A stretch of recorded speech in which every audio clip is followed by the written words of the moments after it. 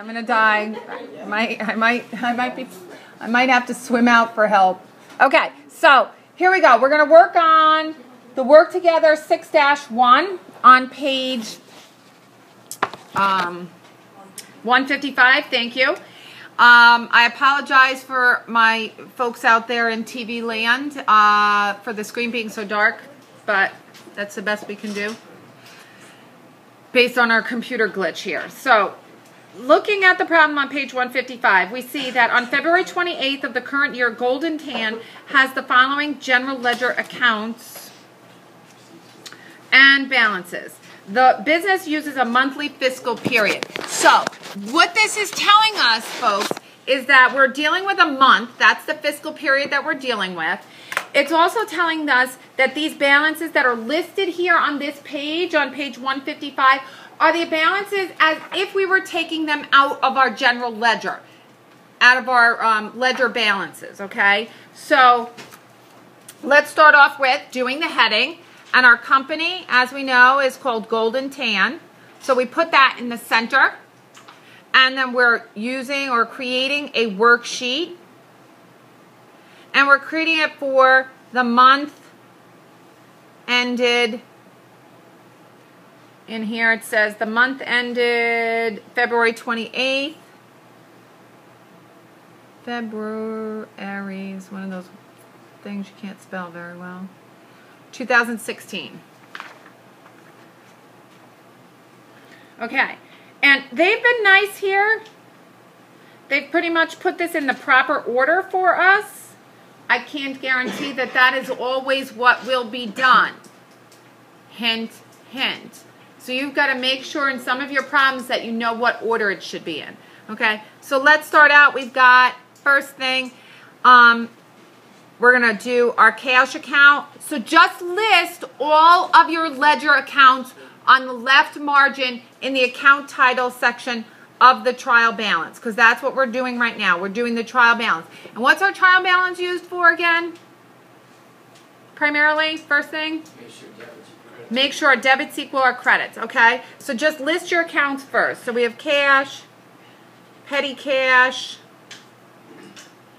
accounts receivable, Ruby, Prince, I think it says. Let me see if I can zoom in on this a little bit more. Okay, Ruby Prince, supplies, prepaid insurance, accounts payable R. Navarro,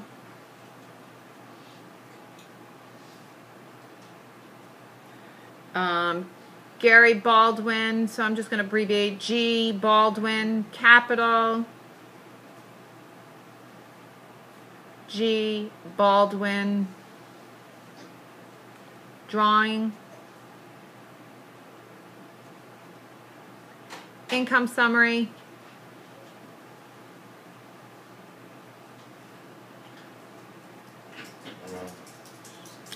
Sales. And then our expenses. Advertising expense.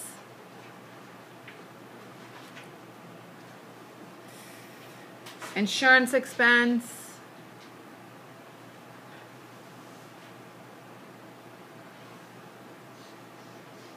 miscellaneous expense, supplies expense,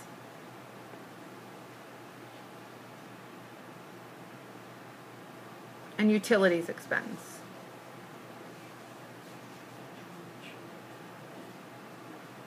When you get all done, I write the word total. I do not believe on Aplia that it gives you a space to do the total. Don't worry about that from an Aplia. I do totals so that I know it's the totals line.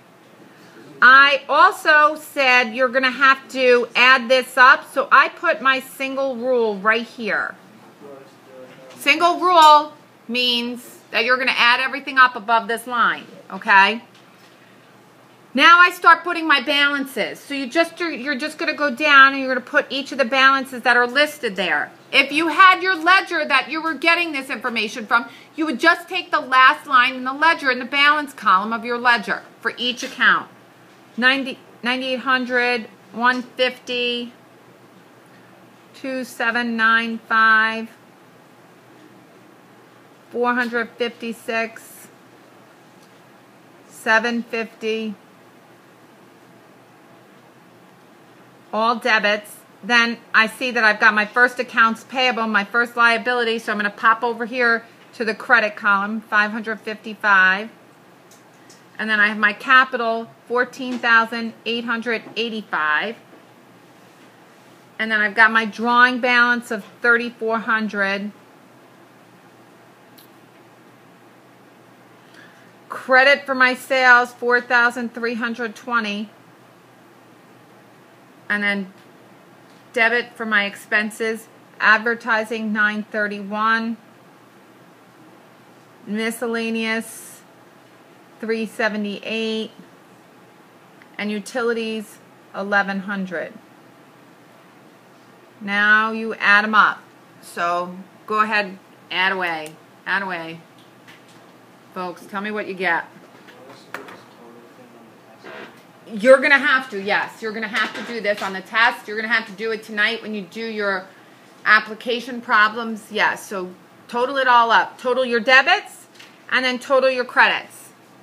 First thing, if you do make if you do have a difference, check your math because a lot of times it's just simply that you added wrong. So start with the simple solutions first. Okay, and add it up.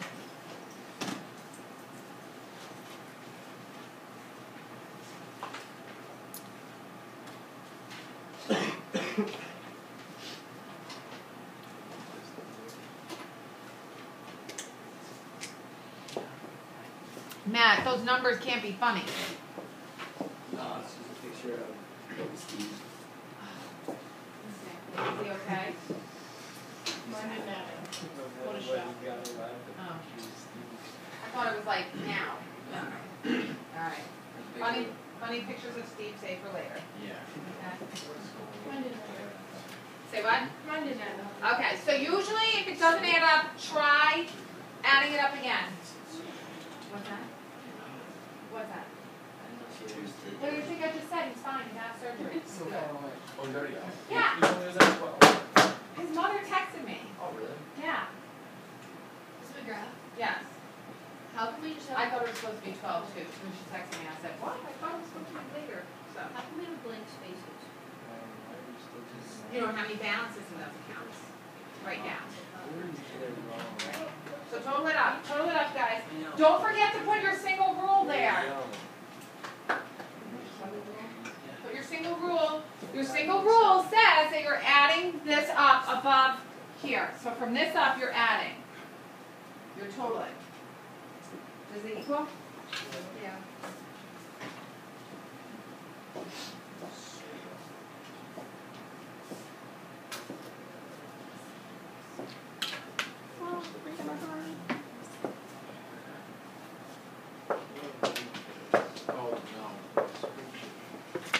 Oh no, what? I think I just read a a number wrong. Is that twenty-seven ninety-five? Uh, I can't read this because it's too dark. Twenty-seven ninety-five, yes. Seven fifty, three hundred, four thirty-nine.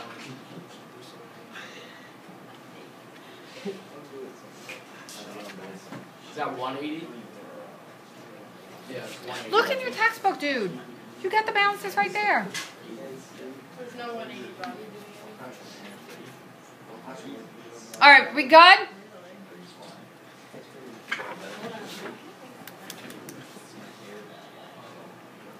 Where are we, folks? I want to reconnect to my Doceri. Are you good? Who's got a balance for me? Okay, so when you totaled it up, your debits equaled what? 19 what? Seven six zero. 760. And your credits? Same? Yes. Okay, good. I got that for one, but not the other. Now we double rule. What's your question, Maddie? I got that for credit, but not debit. Okay, chances are you've added incorrectly. If you got a different balance in your debits and your credits column, chances are you've added incorrectly. Start there. If you didn't add incorrectly and you get the same incorrect numbers both times, then check your numbers. Maybe you wrote one of the balance numbers incorrectly, okay? If it wasn't that and you truly had a, a wrong number, you start with trying to figure out where did you get that wrong number. And I'll go into that at the end of this chapter or at the end um, to try to help you understand like where like where your errors could come from. Okay? All right. So that's where we stand right now. Now let's move over. I'm still getting wrong number. You've probably written a number wrong. They're, they equal.